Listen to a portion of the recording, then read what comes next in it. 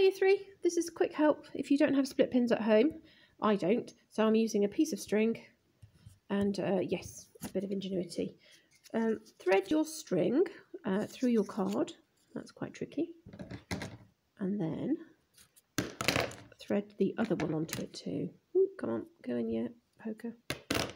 So that's your first activity, is to, uh, your first step, sorry, which is to thread these bits together. Hole looks even smaller. Poke it through, poke, poke. You don't want to make your hole massive, otherwise your knot's got to be massive. So thread your two bits of um, two bits of card onto a string, and then cinch them together. There we go. Now you need to draw, not draw. You need to tie a knot. It's got to be a tight knot.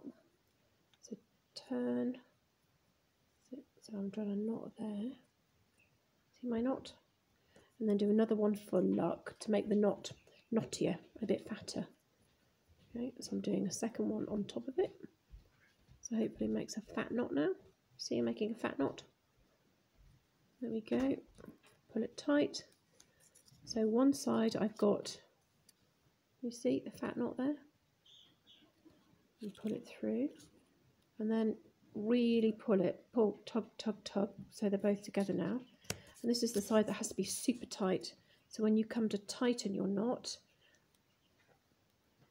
put a finger over the top. When you come to tighten it, ready? Put a finger over the top and pull it so that the knot is on top of the hole. It's got to be really tight. I'm going to do another one for luck. Sorry, I'm not very good at making things. On camera. Ready? Oh, starting to fray, which isn't helpful. Here I go.